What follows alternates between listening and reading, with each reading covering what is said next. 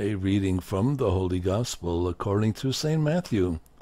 The disciples of John approached Jesus and said, Why do we and the Pharisees fast much, but your disciples do not fast? Jesus answered them, Can the wedding guests mourn as long as the bridegroom is with them? The days will come when the bridegroom is taken away from them, and then they will fast. The Gospel of the Lord.